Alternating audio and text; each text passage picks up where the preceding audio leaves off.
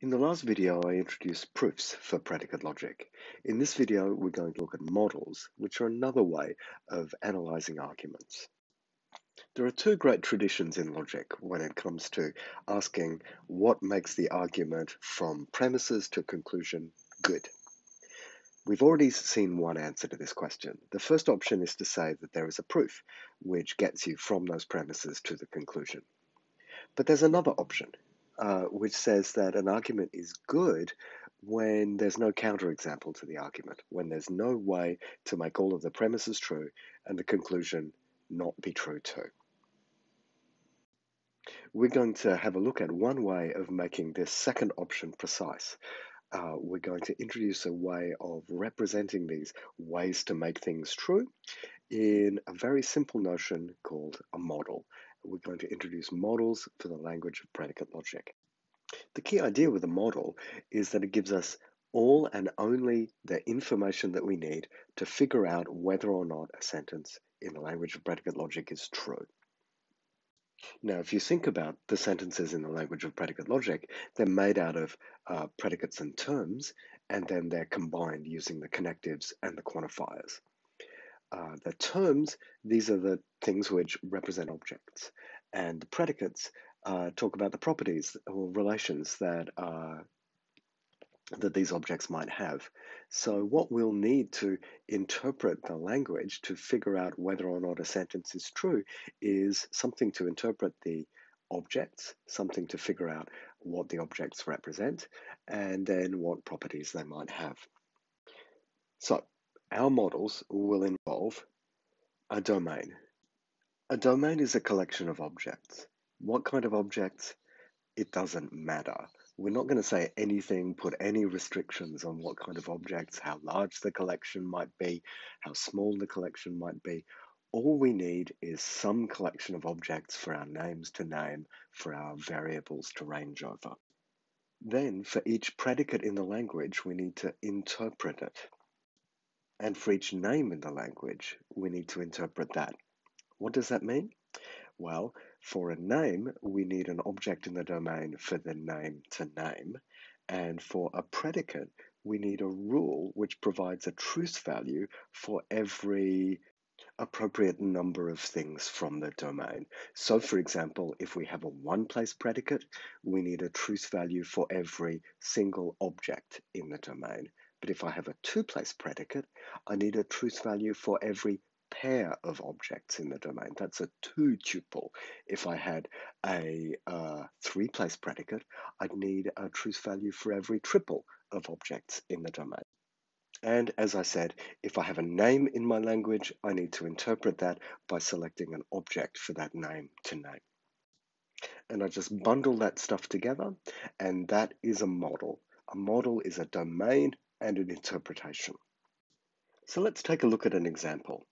Let's select something where I've got a domain with three objects, which I'll just call A, B, and C. In a model like this, a one-place predicate can be interpreted just by a table that assigns a truth value for each object. And a two-place predicate can be interpreted by a table assigning values for each pair of objects, like this. So if my language contains a one-place predicate f, in this case, I've represented what it is for f to be true in my model of the object A. That's what this 1 here means uh, against the A row. And it's false of the object B, and it's true of the object C. So we can tell everything that we need to know about the predicate f in this domain. So if we're only considering three objects, A, B, and C, then we know everything that F needs to tell us. It's true of A and C, and it's false of B. And if L is a two-place predicate, we can do the same thing in this square table here, which we uh, read like this. If I want to figure out whether L, A, A is true, I see this uh, value in the table, and I see because there's a 1 there, L, A, A is true and LAB is false, and LAC is true, and LBA is false, and LBB is true, and LBC is false, etc. So here, L is this two-place predicate, which describes a relation, which holds of some pairs of things and fails of others. Now, given this definition, I can figure out whether or not a sentence is true using these rules. If I have a uh, predicate F, which is an n-place predicate, uh, applied to the terms A1 up to AN, this is true according to the model just when my interpretation of the predicate assigns the value true to whatever the term A1 names, the term A2 names, etc., and the term AN names. So I just look up whatever the term's name, and then I look in the value of the, the interpretation of the predicate to see whether I've got a 1 or a 0 in that relevant slot of the table. 1 true, 0 false. Then a negation is true in my model just when the thing negated is not true. A conjunction is true just when both conjuncts are true. Disjunction is true just when one or other, maybe both, of the disjuncts is true. Conditional is true just when the antecedent isn't true or the consequent is. So the only way to make a conditional false is to make the antecedent true and the consequent false. A universally quantified sentence is true if and only if each instance is true where the name A is a standard name. Existentially quantified sentence is true if and only if some instance is true for some standard name. Now, what's a standard name? They're just our way of making sure that we've got a name for every object in a model. So if I have a particular model that I'm wanting to reason about, the standard names for that model are just selected so that each object in the model has got one and only one standard name and the interpretation of the name is going to be the particular object that that name picks out. So it's just a collection where we use the, usually the same letters that we use in specifying the domain. If I listed the domain out, we'll just add to our language those letters as names for the objects in the domain. In this way, the truth of a universally quantified or an existentially quantified formula can be defined in terms of the truth of other formulas, just the instances of the quantified formula where I plug in each of the standard names. Now, in general, languages aren't like this. We don't have a name for every object in the universe. We don't have a, a name for every object in a domain that I might have chosen. But introducing standard names is just a very helpful shorthand for reasoning about uh, whether or not a formula is true in a model. So let's see how this works. Here I have my domain. Again, my domain is just the objects A, B, and C.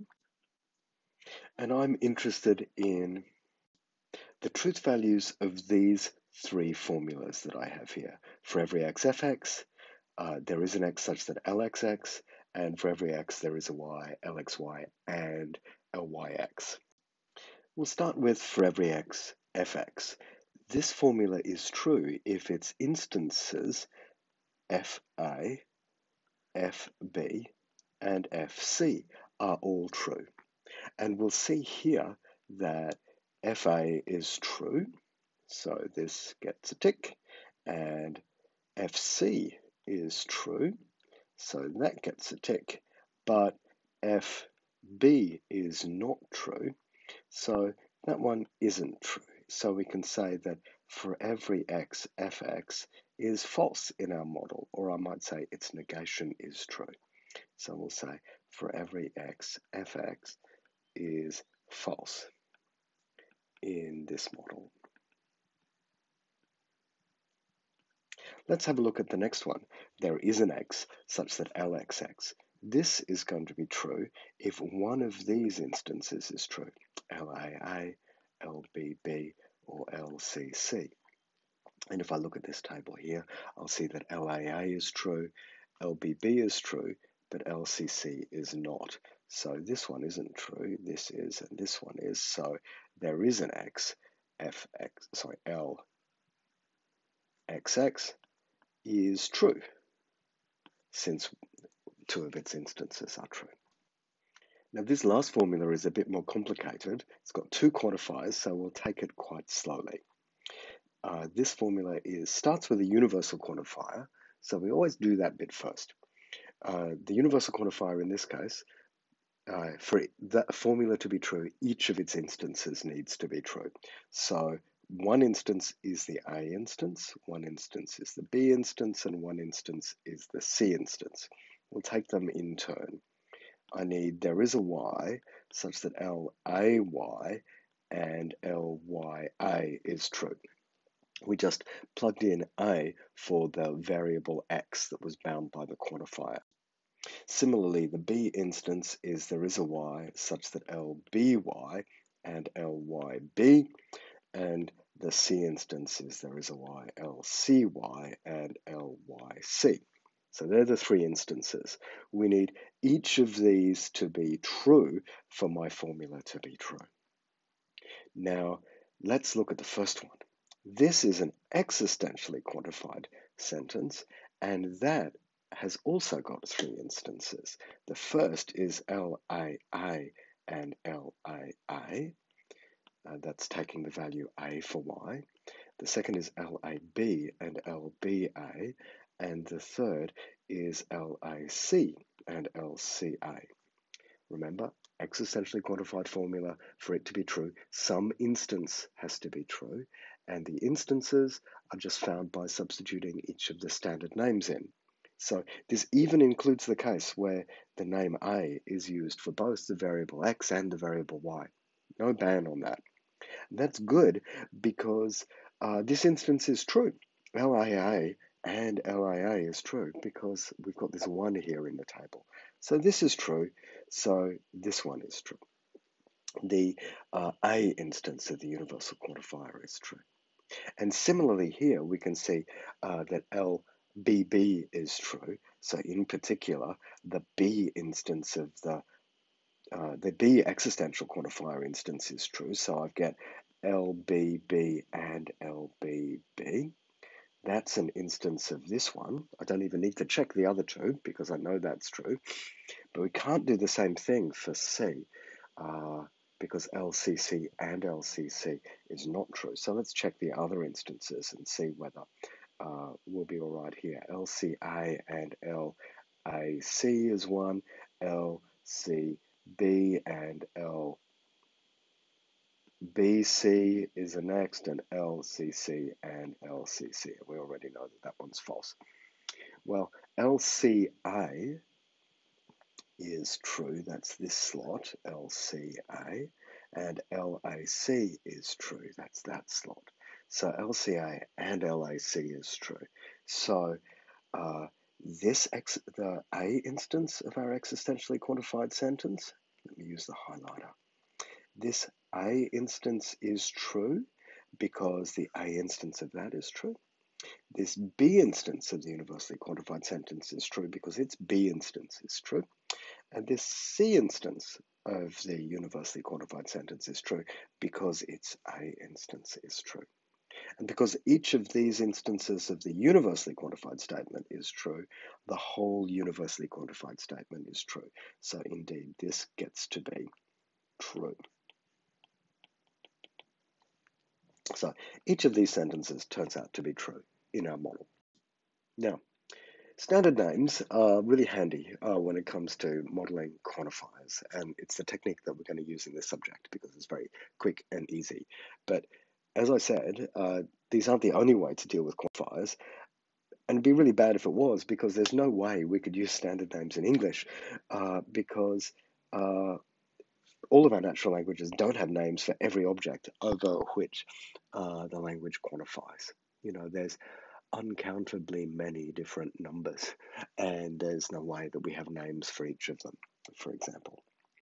Uh, now, uh, Alfred Tarski, the really uh, important logician from the 20th century, uh, gave us an alternate way of dealing with quantifiers. And if you've done logical methods in second year, we've actually seen this where we can do some more work in defining what it is for things to be true in a model, not just in terms of the truth values of their components, but in terms of a, a relation of satisfaction, where we say that for all x fx is uh, and for some xfx in our model is to be analyzed in terms of the component fx without using names, just using the variable x, but we don't need to know whether fx is true, but we need to know whether fx is true of this, or whether it's true of that, or whether it's true of each individual different object in the domain. And that depends on the value that the variable x takes. And the way that Tarski analyzed this was in terms of what he called assignments of values to variables. So, in general, a formula which might contain free variables uh, is said to be satisfied by the model relative to some assignment of values to those variables. Uh, we won't go through the details of that, but it's another way of giving uh, truth value to formulas in terms of uh, this relationship of satisfaction. Now, in the first videos, we had a look at proofs. And proofs are one answer to the question what makes an argument from premises to conclusion good. We can say that the argument is uh, provable if there's a proof which leads us from the premises to conclusion. But now that we've got models, we could say this, we could say that the argument has got no counterexample, that there is no model where each member of the premises is true and the conclusion is not. So we introduce these two similar but different notations for uh, validity of arguments here. Here we've got provability, and here we've got the absence of a counterexample. They're written with turnstiles, but one is a single-headed and the other is a double-headed turnstile. To give you a sense of how uh, model theoretic validity, this double-headed turnstile works, let's show, for example, that the argument uh, from the premises something's f and something's g to the conclusion something is both f and g, let's show that that does have a counterexample, so it's invalid. So for this, if I'm going to construct a model, I need to interpret f and I need to interpret g. And if I had a counterexample to this, I'd need some object in my domain uh, for which f was true, because I need some instance uh, for this formula to be true, I need some instance uh, of the predicate f to, to be true. So let's just call that object A. And I need some instance uh, of g to be true, but what I really don't want is f and g to be true uh, for anything. Uh, so let's uh, make f true of the object A, but g not be true of that object, and let uh, f be false of the object B, but G be true of the object B. And maybe I've got other objects like C uh, and D uh, for which they're both false. Doesn't really matter. But here I've just constructed an uh, interpretation where my names are A, B, C, and D, standard names for the objects A, B, C, and D in the domain. And I've interpreted F as being true of A only. I've interpreted G as being true of B only. And now in this model, there is an X, Fx is definitely true because Fa is true. And there is an X, Gx is true because uh, GB is true. But there is an X, uh, Fx and Gx is going to be false. Why? because FA and GA and FB and GB are false. FA and GA is false because GA is false, and FB and GB is false because FB is false, and FC and GC and FD and GD are also false for the same reason. So we've constructed here a very simple counterexample uh, to this argument uh, showing you that this argument is invalid. It's got a counterexample. So now there are two different sorts of things that we can make. Uh, what we've got uh, for proofs, if I can construct a proof from premises to a conclusion, uh, I know that the argument is good in the sense that it's provable. And if I can construct a counterexample to an argument, a way of making the premises true and the conclusion false, then I know the argument's bad, it's got a counterexample.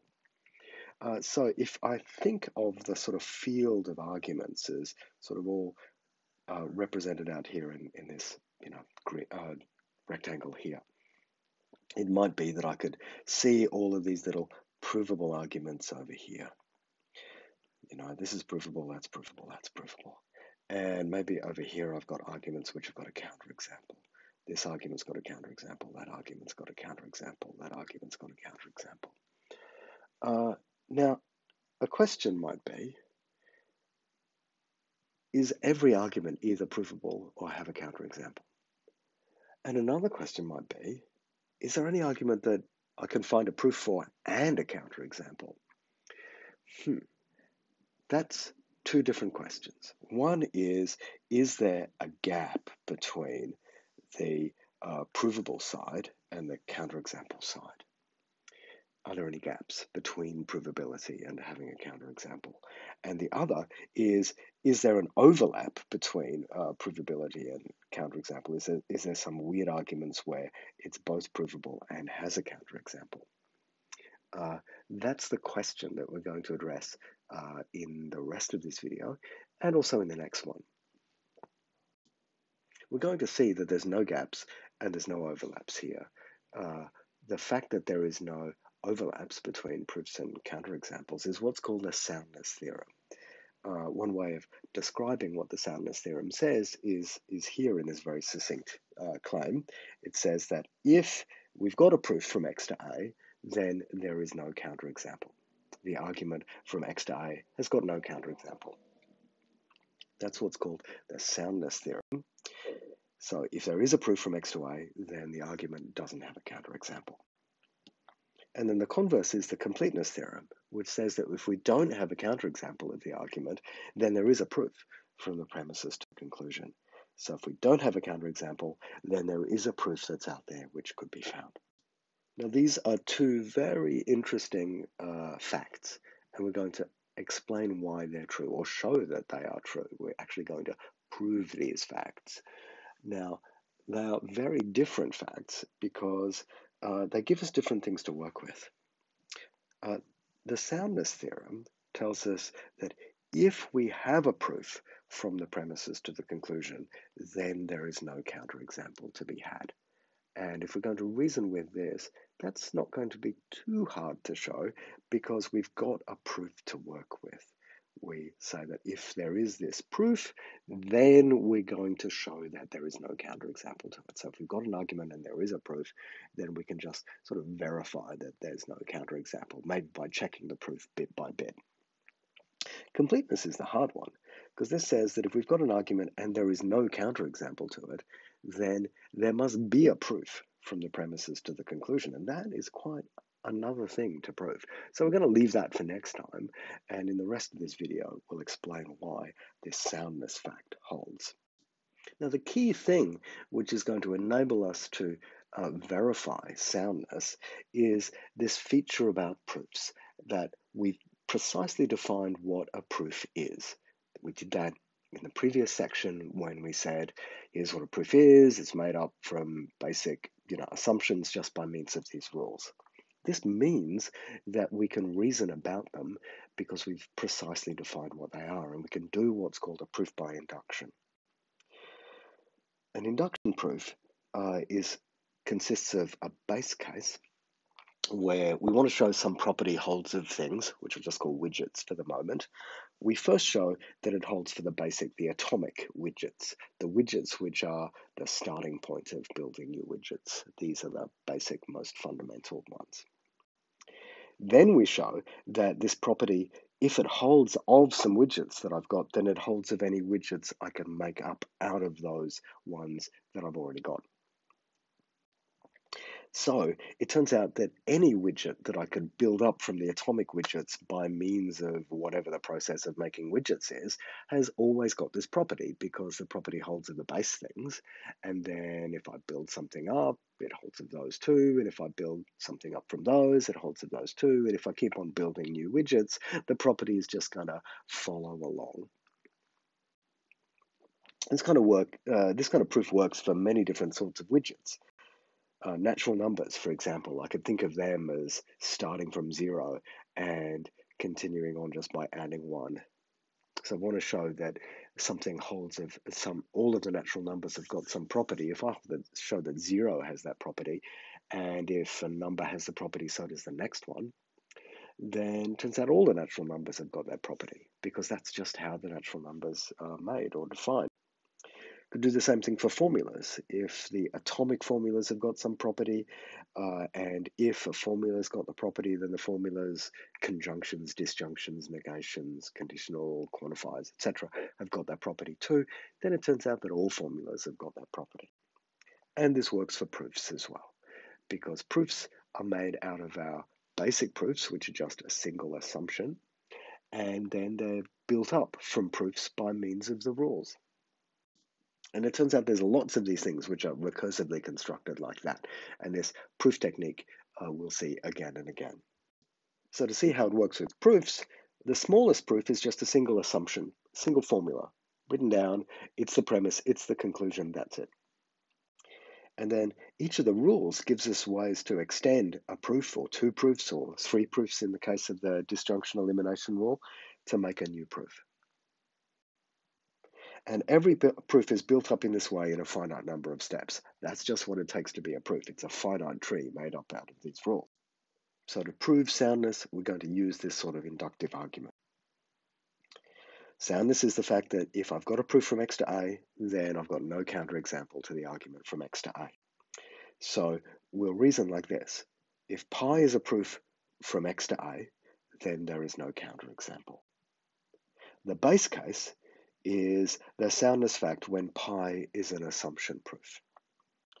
And then the inductive step is that if soundness holds already for proofs pi 1 and maybe pi 2 and pi 3, then it also holds for proofs constructed from these ones using the rules. And then if I can show those two things, the base case and the inductive step, soundness holds for all of my proofs. So here's the base case. If A is an assumption proof, well, it's a proof for the argument from A to A. So we need to show that the argument from A to A doesn't have a counterexample. But a counterexample to that argument would have to be a model where A is true and A isn't. And that's not how model, models work. In every model, either A is true or it isn't, but not both. So we never have a counterexample to the argument from A to A. So we have soundness for assumption proofs. Example. Now, there's lots of rules, and I'm not going to explain how soundness works for each of them. We'll do that in class. I'm picking out four rules, which will give you a good idea of how all of the rules work. First, look at the conjunction introduction rule. If my proof from x to a has no counterexample, and my proof from y to b has no counterexample, then any model where x and y are both true has got to be a model where a is true because the argument from x to a doesn't have a counterexample, and has got to be a model where b is true because the argument from y to b doesn't have a counterexample. So any model where x and y are true, a and b has to be true too. And if a and b are both true in my model, given the rule for how conjunction works, a and b is true in my model too. So it follows that any model where x and y are true, a and b is true. So this is the simplest case. Uh, it turns out that if my if I have no counterexample to the argument from x to a and no counterexample to the argument from y to b, then indeed the argument from x and y to a and b has got no counterexample. Now, Many of the other rules have got this shape too. These are rules which don't discharge premises, don't have any funny business with quantifiers. All of those rules give you soundness in exactly the same way as this one. Here's a rule that discharges a premise though. Here, my proof pi is a proof from x and a to b, and I'm discharging some a's and concluding a implies b. So if my proof pi uh, is shows us that there is no counterexample to the argument from x and a to b, then in any model where each member of x is true and a is true, then b is true. That's just what that means for that argument to have no counterexample. Now, That means if I've got a model where x is true and I'm leaving a out, then either a isn't true in my model, or a is true in my model and in that case b is true. In other words, in those models, either a isn't true or b is true, if all of the things in x are true. But that's just the condition for A implies B to be true. If you look back at the rules for when A implies B is true in a model, it says when A isn't true or B is. So it turns out that in any models where X is true, uh, A implies B is true too. And that's exactly what we needed because that's now uh, the active assumptions in this proof for X, discharge the A's, and now the conclusion is A implies B. So soundness works for extending proofs with the conditional introduction rule too. Last connective rule that I look at is the disjunction, disjunction elimination rule, which is the most complicated one. It's got uh, three subproofs, pi 1, pi 2, pi 3. If each of these proofs have got no counterexamples, that means that in all of the models where x is true, a or b is true. In all the models where y and a are true, c is true. And if all the models where z and b is true, c is true. What we want is to show that in every model where x and y and z are all true, then c is true. So take the models where x, y, and z are true. Because x's are true, a or b is true. And since a or b is true in these models, if I take any of these models, uh, in that model, either a is true or b is true. So, in one case, if it's A that's true, then since Y is true, and we're assuming A is true, then C's got to be true too, because this argument's got no counterexample. On the other hand, if it's B in that disjunction that's true, then in that case, because Z is true, Z and B are true, so in that case, C is true too. So in either of those cases, C is true. So it turns out that uh, C is true in my model. Whenever X and Y and Z are all true, then C is true. So that argument is valid too. Last thing I'll look at is this universal quantifier introduction rule. I've got a proof from X to A with the A instance. That means that in any model where X is true, A of A is true. And the name A doesn't apply appear in any formula in X. That's the condition on actually being able to apply the universal quantifier introduction rule. So it follows that in any model with a domain D, interpretation I, where each member of X is true, so is AA. So what I'm going to do, um, because I want to prove that for all X, A of X is true, I'm going to choose an object B in the domain D. And I'm going to consider this new model where I just interpret the name A to refer to the object B instead of the name A. So I've just chosen an object in the domain at random, and I'm interpreting the name A to refer to that, and I'm keeping everything else in the model exactly the same. Now, since the formulas X don't feature the name A, their interpretation is completely unchanged. They're still true in this new model. So since in every model where all the x's are true, AA is true, the name AA, um, the formula AA is true in this model too. Because the argument from x to AA is valid. So this model can't be a counterexample of it either. But B could have been any of the objects in the domain in our model. And B is now, in this new model, the interpretation of the name A. So that means that A of B holds in my original model for whatever standard name B I was wanting to use. So it turns out that for every x, AX is true in my model too, because the B instance is true for any choice B that I use at all. So it turns out that if the formulas in X are true, the universally quantified formula is true too. That was a lot of examples, four of them, and they were all of the different kinds of reasoning that you can get in these sorts of rules. The other rules work in exactly the same way. They've just got slightly different shape, but the, the reasoning works in exactly the same way. So I'm going to leave them for us to do in class. After we've mastered models and we've understood soundness, our next step on our journey is to see how to prove completeness. But that will be for next class.